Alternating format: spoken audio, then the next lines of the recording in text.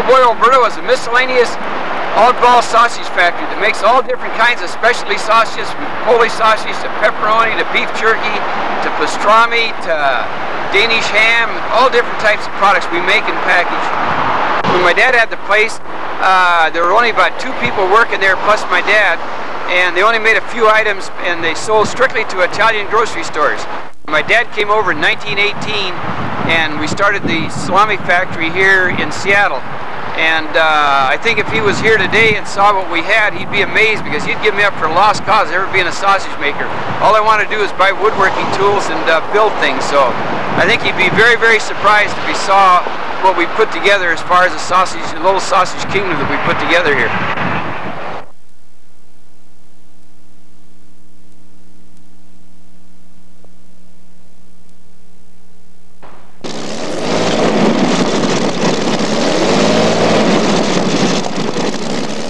Professionals. We aren't weekend warriors anymore. I don't know when that helicopter's supposed Oh, to show up, but The boat to this side is the Old Boy Oberto. That boat was built and designed at the end of the 1981 season after Bill Muncey was killed in Acapulco.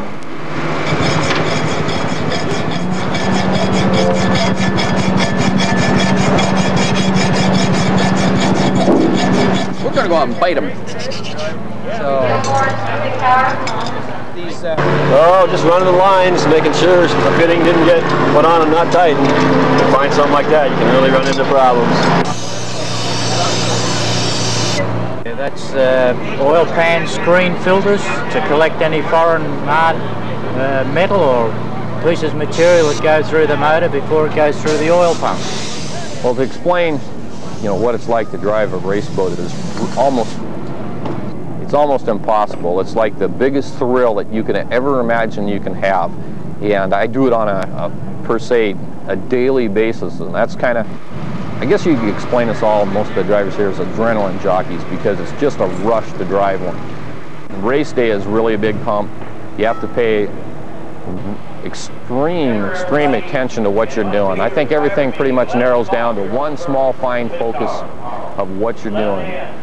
You think of nothing else. That's why I basically, I just strictly drive the boat. and I don't crew on, I don't do anything. I, my job is to drive the boat and I take all my energies, focus them down to the one basic little thing and that is to drive the boat. Well, some days I get butterflies, some days I don't. I, when I was first driving, I used to get really wound up and you know, I didn't get to the point where some people get almost nauseous and sick. I don't have that problem. But I, I get pre-race butterflies sometimes. And once I get down in the boat and it's time to race, uh, all the butterflies go totally away.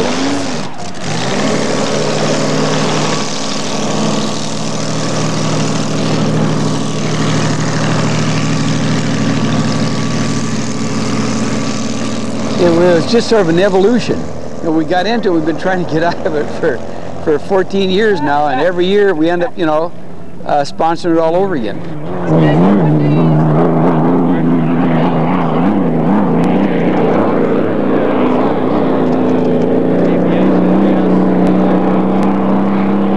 I think the momentum just got all sort of kept on going. It was just like a tidal wave, and it just uh, went year after year after year. Because every time we talk about getting out, everybody's all raring and roaring to go again, and we're back in it again. And that's pretty much the way we've stayed in it. Every year we're trying to get out of it, and every year we keep getting in deeper and deeper and deeper all the time.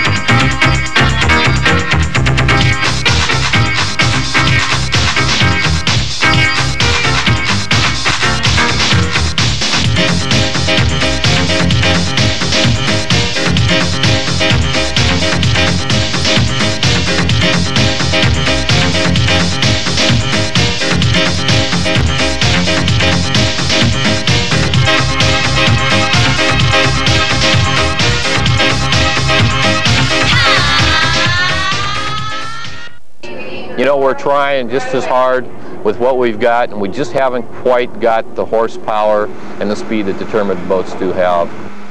there's absolutely no way that you can beat the big dollars and be competitive on the race course. It takes cubic dollars to win races. And it, it uh, uh, only has been the last uh, few years that uh,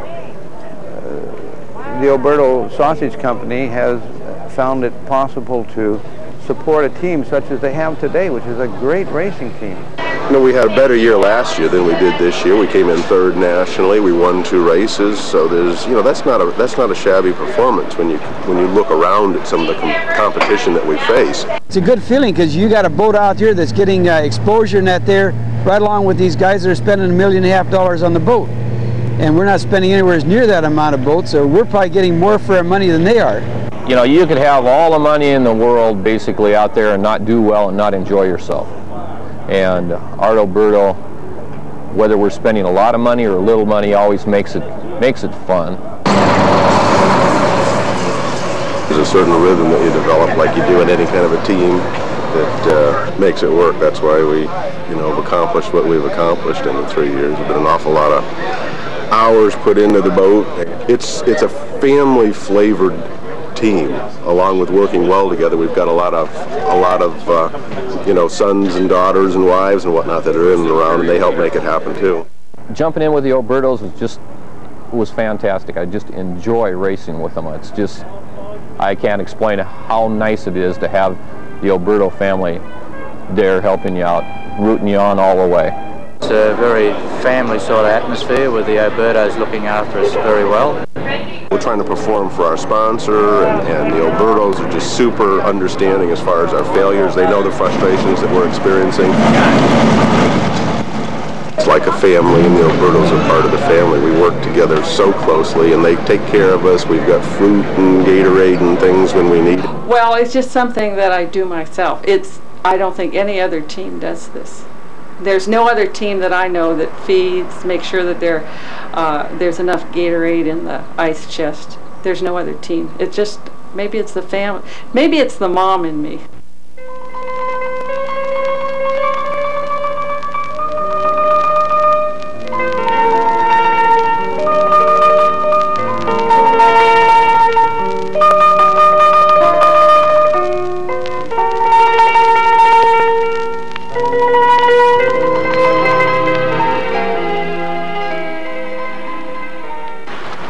Dorothy and Art got lunch for. I don't care what it is. They, all they do is hand out, hand out, hand out. I bet they use about two or three hundred salamis a day.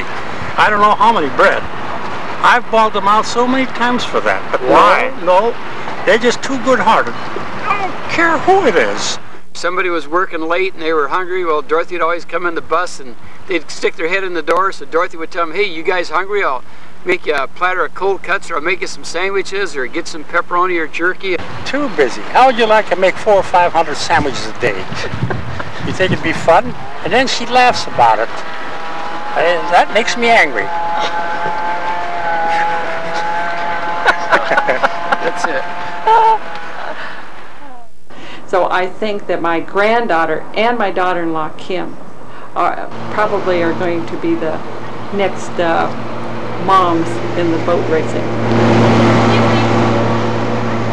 I've watched Dorothy Oberto make sandwiches for the crew for quite a few years now. She pretty much has passed the baton on to me. When I came into the Oberto family, I thought that these guys were all bonkers on hydroplanes and just crazy about it. And now I've kind of become the crazy fan and my husband sits back and kind of is the spectator and I've become the person who I've got kind of a program. 9 to 10 I pass out things on the beach and 11 to 10, I mean 10 to 11 is when I make my sandwiches and my crew stuff so I'm able to be with the crew when the boat goes out. A lot of fun. Every year is the last year for the Oberto company, family, hydro. Every year is the last year, but somehow every year it seems like we're back. This is a picture of Patricia Ciota holding a mock-up of a big salami, Art Oberto and Larry Oberto and the neighborhood kids.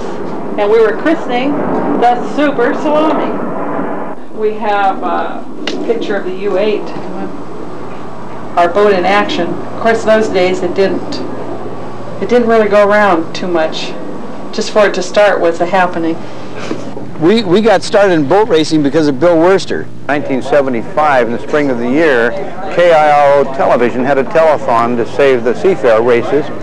And uh, I saw Art there. We brought our boat down and had it on display, and I, I met Art at the telethon, and we discussed at length the possibilities of having them uh, sponsor our boat. We told him, hey, there's no way we can afford a hydroplane. He says, I'll give you a deal you can't refuse. We had a no run, no pay deal. he supported my team for seven years.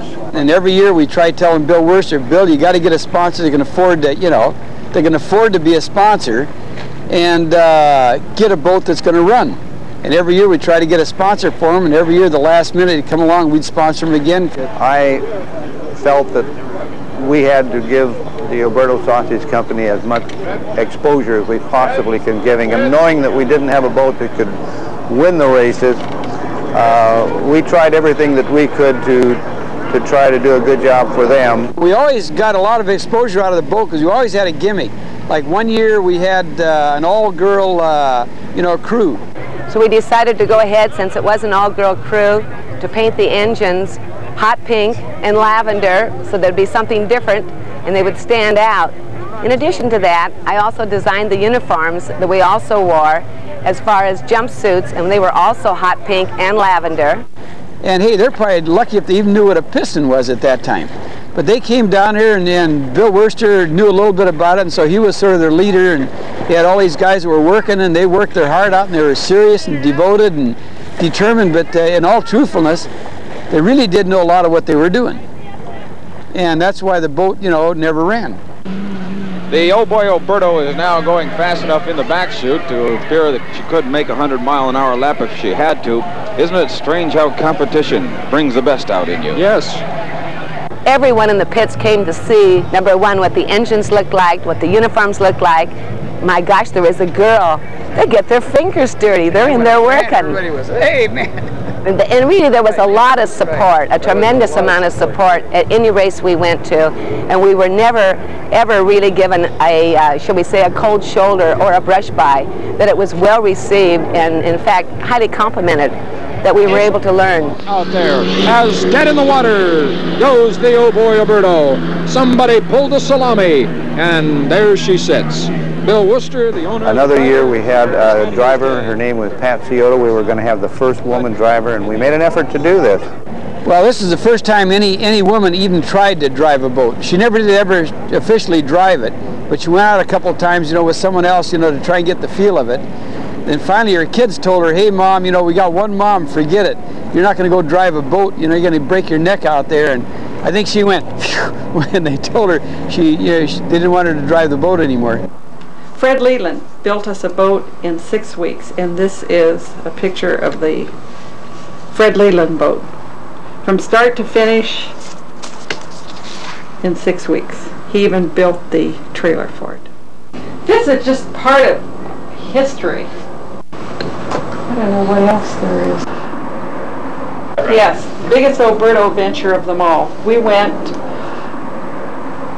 on a caravan down to Acapulco.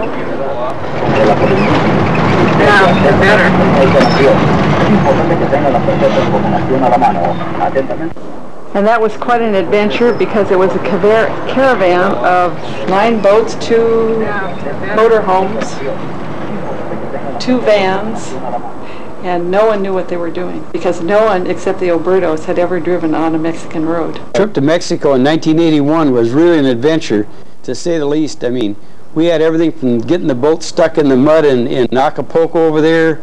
Uh, we got to the pits there in, uh, no, we got stuck in the mud in Mazatlan.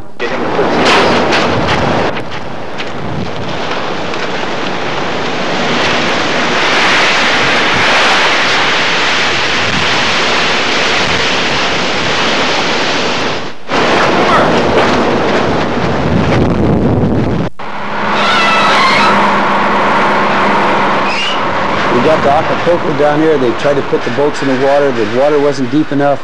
They had to fill the thing out. There's no power, no water, no anything.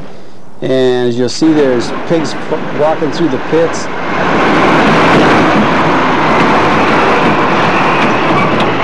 Things were really always loose in Mexico. I mean, but when the race was all over with, it really all fit together really good, and the Mexican officials supplied us with everything that we needed other than the helicopters. We had an airplane there that took Bill Muncey to the airport to the hospital, but uh, he had already, I'm sure, was dead before they ever got him to the hospital. Yeah, in 1988, George Woods was out testing just before a storm in Miami, and uh, just he was coming along to make his uh, qualifying run, the lightning struck and just barely missed the tail of the boat. And uh, that's probably once in a lifetime that something like that would happen. Just to sit and watch the boat races or to win a race, to me, doesn't mean anything. I mean, getting the exposure, getting the recognition, getting, you know, name recognition, and uh, potentially getting more business, that's the thing that really keeps me going. You know, that and the kids and the family and everybody else that wants to keep the thing going. Oh, I don't know. It's just lots of fun having a boat and being the little kid with the slow boat and being able to hand out jerky and smokeroni to fans and everyone. Yeah, I, I suppose we were kind of the laughing boat, you know. If it got qualified, it was a big event. Probably the best thing is we've gotten down in the pits here and we've gotten uh, to, you know, know a lot of people. We've gotten a lot of kids into the neighborhood, you know, into the pits and that there. And, uh, and I think that's probably the main thing. I've been coming here every year for approximately 17 years. I first got involved with the Obertos um, through Larry, Art's son, and uh, we used to make hydroplanes like the large ones and run around in an oval on the grass with them. And then I got to know the family and Art Oberto's enabled a lot of the kids in the neighborhood to just come down to their house and see the boats from a distance and then if you like to get involved in them, he can come down to the pits and he'll try some way through security or some way and try to get us involved and get us inside and then we all hover around the bus and slowly slip through security or some way and try to get into the pits and see the boats up close and personal and you can go back you can look at the engines go in the truck and see what it's all about because if you're interested Mr. Oberto will find out and he'll get you involved. Really I think one of the main reasons we put the race on is it got all the neighborhood kids involved in it and they all got enthused. Uh, tell you, you know, we've been in this hydroplane deal for years and years and years, but I think our granddaughter here, Cindy Oberto, who's our oldest granddaughter here, is really the expert. And if you really want to go see what's going on in the pits over here, she'd be the one to take you around, and she can tell you more about the hydroplanes than I've even forgotten. Circus, circus. Well, I've been going to races since I was two. And in a way, yes, I think I do know too much for a 10-year-old. Our family knows a lot, but like my grandpa, he sometimes forgets a lot of stuff. So long ago. Oberto's having a little bit of propeller and engine problems, but we're hanging in there pretty well. Budweiser's doing exceptionally well. They've got their new driver, Tommy D'Eath, who's doing a good job. Um, the U3 Cooper's Express won the Tri-Cities race, an unexpected winner, so they're doing really well. Tell me all about it. Okay. The sponson is the front end that, I don't know what it does. Um, it's just like the front of a car. It keeps it, if the sponsons get a little out of the water, it, it can cause it to flip if you're going too fast. That's the probably the first part that goes up in a flip. What we're Yeah. got very little to do now, have we? This is the tail, the horizontal stabilizers and the vertical uprights. These are the vertical uprights. We took off our the name. Now, the Circus Circus is running without the horizontal stabilizer. They think it might work a little bit better. They set their um, fastest qualifying lap. What do you think? Um, I don't know if it helps. I don't know what their theory is behind it, so. There's a pipe that goes in here and back through here, and the end of the pipe is a propeller. It's what makes it run, and the engine turns it. What do you want to be when you grow up, Cindy? Um, a salesperson or a lawyer or a doctor. I'm not sure yet. I don't know much about the engines besides it makes it go fast. And my part, my department is just making sandwiches and making sure everybody gets their lunch. So So, and I help my mom and my grandma do that. Yeah. This is Ed Nelson over here. He used to work on the Budweiser crew. He does a great job. What do I do? I, uh, This is Brooke. And we've already talked to him. you know Brooke, and he's a really nice guy. And This is my girlfriend. His wife is Rita, and his son is Brookie, and Brookie helps a little bit on the boats. Our team manager here, keep everything going for us. Make sure we've got our sandwiches and our fruit. All of the all of the people in this board are pretty nice, except for one exception. The Budweiser crew is kind of well, I don't know. They run their own show. We stick to making sandwiches, and for an example, um, Ed Cooper brought my brother and I a popsicle one day. Now the Budweiser won't do that to you.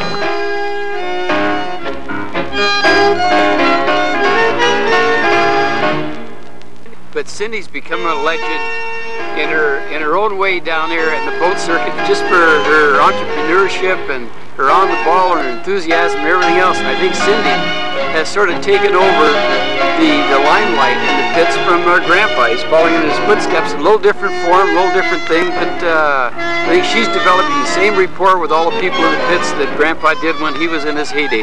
Everyone enjoyed my father in the pits. The kids were little at that time, you know, they were like six and seven.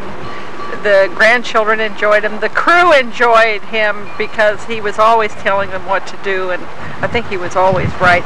The uh, people, the the uh, staff, which I say, the pit tour people in all the races in all the cities enjoyed for him to be uh, there because he always supplied them with cold drinks, whether it be ice water, jerky, pepperoni, and uh, it got to be a joke in one particular city that to get in the pits, all you had to do is say you were Grandpa's grandson.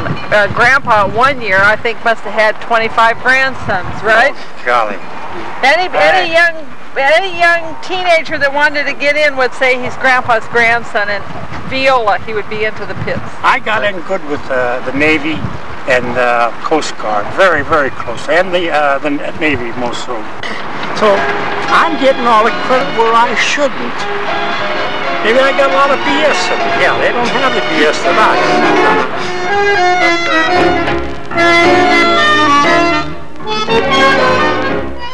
This is not a wonderful vacation to go around the countryside. It's work. And it is not really a family hobby. It is really a marketing tool for Oberto Sausage Company. Aha. It is not a family hobby. I would like to stress that. Now, Dorothy's always telling these guys to take their boats and make a planter box or sandbox out of them and go out and get a halfway decent job because well, there isn't a boat owner out there that isn't going into hawk trying to keep these boats going. Uh, no, I'm not crazy about hydros. You really want to know what I think about them? No, I think Dorothy's true. We're aid- definitely aiding and abetting the delinquency of adults. No ifs, ands, or buts. Well, I always feel, I always tell the men, one of these days they're going to uh, either put a cement block on my foot and throw me overboard, or they're going to throw a pie in my face. But I always tell them to go out and get real jobs. Because hydroplaning is great, it's a great hobby, but the purse, the winning purse to me is not worth I'm talking of the boat owners, not the boat sponsors, is not worth, I think, the time and effort, the blood, sweat, and tears, so to speak, that they put into My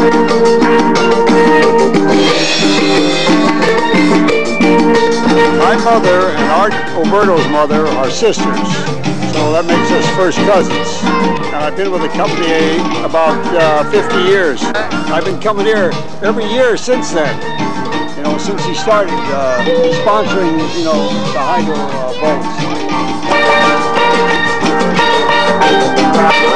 boats.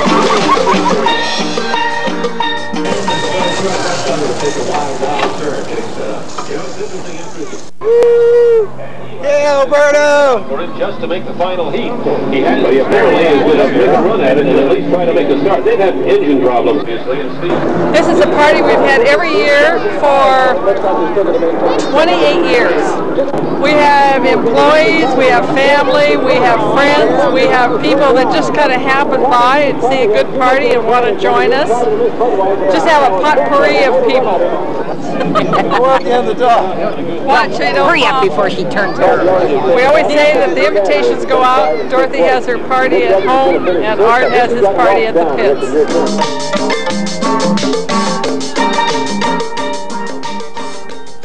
They knew Oberto couldn't win. They knew darn well it couldn't win. But they still was rooting every last people on there. The Navy, the Army, the Air Force. I knew them all. They were all rooting for Oberto. Why do you think? Why? Uh, hospitality. He was good to everyone. Everyone knew that no matter what he, who went to that uh, trailer or uh, motorhome, that they were going to, get something. Even a little piece of pepperoni, a button. But you think uh, guys like Bern Little or like that would uh, stoop down for any kids? No way. No. They won't have time to. Yeah, no, there's there's been a lot of people over the years that have just, I mean, gone out of their way to help put the boat races on and, and take care of the people who were there and and uh, you got a lot of dreamers and a lot of hopers and a lot of wishful uh, workers down here that they just hope to get their boats running in that there and I think we sort of grew up through the the have-nots and uh, probably had more fun doing it than the guys that had the big expensive budget boats. You're right on that. And that's why I'm kind of drifting away from it because I see it's just all greed, greed, greed. Art went there for the money, not for, I mean for the money, for the joy, for the fun, and to see how many kids he can make happy. And believe me, he always come down here anytime. I bet there's over a hundred kids getting here free. He furnishes them pass. Great for that. No. He don't care whether he wins or not. All he cares is so his boat is out and see that the people have fun. Here, who didn't get your have fun stickers here? You gotta have a have fun sticker here. What do we need? Have fun? You gotta have a have fun sticker. You can't enjoy life without a have fun sticker. Okay. You doing a good job in school? Here, I'm gonna get you a pin. What do you say? And then if you, okay, you're gonna really study hard in school? Okay, I tell you what, how'd you like to have a four-color pin? Oh, That way you get four times good a grades in school as you're getting now. Okay? What do you think, I think we've been do, handing out stuff on the beach since the day we sponsored the first race here. And I don't know, it's a chance to get down and see the kids and we get them stickers and poppers and stuff like that there. And I forgot to give away some poppers today here, but uh, normally we, it, it's just a good chance to get down and talk to the people. My mother's a neighbor of yours. Yes? Yeah. Zucker? Who's that? Zucker? Oh, Zucker? Yes. That's your mother? That's my mother. Oh, it is? Uh-huh. She's all right there. Okay. Okay. Make sure you get this here. Here, who didn't get your have fun stickers here? You gotta have a have fun sticker here. Not too much salt. Yeah, enough for people that can't eat Yeah. Well, you just gotta eat less of it. Now, with dry sausage, it's hard to make a dry sausage without salt. You know, see, in the cooked sausage, you can do that. In the dry sausage, if you don't have the salt, it just doesn't heat, see, so. Can't enjoy the race without a have fun sticker. We were handing stuff like this here out even before we ever sponsored the boat. have fun stickers? And it's just been a good gimmick, and that just sort of gives our company this crazy, loose, uh, free-for-all, uh, hey, down-to-earth type of an image, and that's what we are, and that's what we try to maintain, and that's what I enjoy doing. This is fine. Okay, real This is good. great. Put on your Thank you. collection there. I will. Okay. Thanks. I probably hand out maybe three to four thousand stickers on the beach at a race. From uh, you know the beginning of the race to the end of the race. Like I, I ended up this bag here was totally totally full of stickers. Hey, for, for you with a shirt, I'll even get you a button. You could hire people to go out and do this here, but then that loses half the fun of it. I think it's a lot better, and I enjoy it. And matter of fact, out of all the stuff that we do on the boat racing, we pretty well delegated everything off except hitting the beach here. And uh, I still keep that, that job there, just walking out and meeting the people and handing out stickers and looking for neat little kids. And uh, sometimes there's handicapped kids in that there. And whatever is out there, just sort of play it by ear and go with the flow. You have fun stickers? Okay. You know, who didn't get a real good feedback, and, I, and I'll tell you one thing, we've had the best beach following when uh, it's a close race on here, you get on the beach here and we got everybody rooting Oberto. We've already been out and we've stickered them up, we've got them all wound up and everything, so when our boat goes out, it, actually what it does, it creates an audience, it creates a following, and, and that's really what makes our boat go, because we don't have the fastest boat. You know, who didn't get your have fun stickers? Can I please have one? Here you go. There you go. Thank you. I think we're just sort of kids oriented. Uh, I don't know, you find these little kids and they're really neat, so I, I really try to aim for the kids. And if they got adults and parents with them, I mean, we get them some stuff there too, but I, if I find some little kids that are really neat, I'll get them a pin, or if they're really super neat or something, I'll give them a pin or something like that. Once in a while, a kid will tell me, hey, you know, I already gave me one, so I said, hey, for being honest, I tell you what, I'm going to give you one of my stolen pins.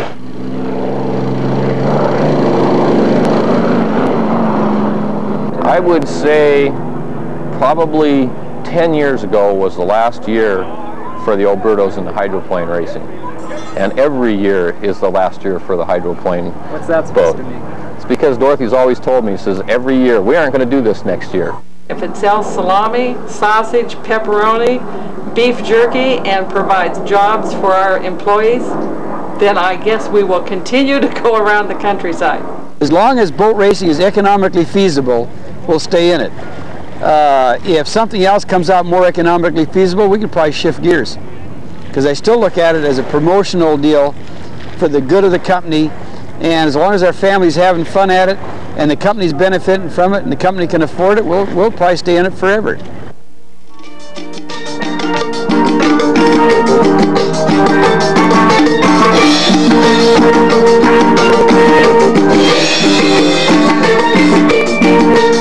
Thank